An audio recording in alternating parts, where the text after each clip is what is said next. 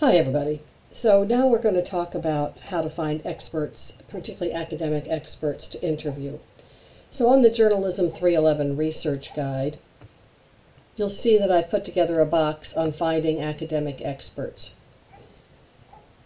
It's one thing to find um, people who are immediately affected by a story.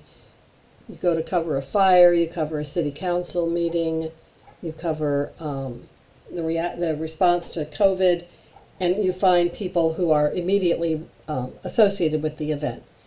It's a little bit uh, another step to find experts, academic experts in particular, or advocacy experts um, to interview, because that can give your story a lot more depth and a lot more detail. Now, there's used to be that you just called up a university, your local university, and asked the PR department to get find you an expert, and people still do that. Reporters still do that. However, now most colleges and universities have their experts listed online, and so it's considerably easier to find experts. So we're going to start here with the Cal State Long Beach experts on call. It's a relatively limited list, but growing. They revamped the um, database some a couple of years ago, and so it's taking a little while to repopulate. But it gives you the name of the professor, their areas of expertise, their phone number, their email, and if they have a website. Now, the University of California has put together a list of experts. They pulled together a list of experts on some topics that they get frequent calls on, such as wildfires and drought. So if I were to click on drought here, it would take me to a list of, of University of California professors and specialists on drought. And so you have the UC Berkeley, you have Davis, you have Irvine, UCLA. You can see that you can find any degree of expertise on drought. Now, there's also a Google search that you can do for experts, and it works fairly well. Um, you can either go to Google Advanced Search, or you can go to regular Google. If you go to regular Google, this is how you would do the search. You would put in expert and say I want an expert on COVID. Then the magic here is you put in site, S-I-T-E, colon, dot edu. So that says I only want experts on COVID uh, from educational institutions. And we get 12,600,000 results. Um, there's a, there's a few ways that you can filter these results, but they are filtered by relevancy. So you can see Johns Hopkins, not surprisingly, comes up at the top. They have been a leader in um, COVID uh, information. We have Northwestern, UC Davis, UCLA. So you can find the expert pages on many university websites using this search strategy. Now, sometimes, not sometimes, often you will need to find uh, an expert that you know has is on the more conservative side of the spectrum. And so the Heritage Foundation, a conservative think tank, has put together the a policy experts guide. And it's pretty straightforward to use.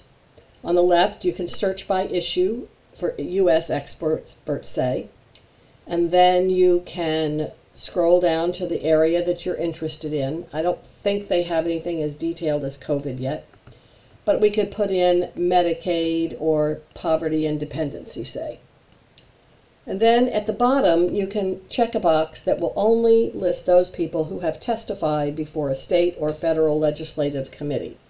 It's another credibility uh, filter that get, says these people have enough expertise that a legislature has wanted them to testify.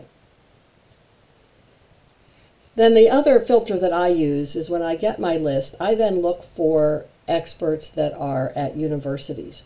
Again, to me, it's another recognition of their credibility and their expertise. So we'll see here that the um, okay, University of Alabama, David Beito, Douglas Besharov, Besharov at the University of Maryland, Barton College, George Washington University, Cleveland State. So there are many academic experts listed on here, but you know going in that they are going to have a more conservative expertise or perspective on the on the topic, which is very good to have all sides represented in your stories. Now, another way to find people with expertise are people who work for advocacy organizations. They follow the developments uh, with their particular area uh, that they're advocating for, they follow it very, very closely. And so it's good to be able to find out their perspective as well. And so, one of the ways that you can do this, though you have to, this is a matter of searching .org uh, websites, and .orgs are not quite as uh, clean as .edus and .govs. Um, so you have to, as you do with all websites, check the credibility, look at the about section for their mission, their board of directors, do your due diligence. But a way that you can use a simple Google search to do that is to do the same thing we did with COVID and Site EDU, except we change it to .org. Okay? Now, COVID's not quite as um, doesn't have quite the advocacy organizations surrounding it, but um, you, you but you certainly can find some.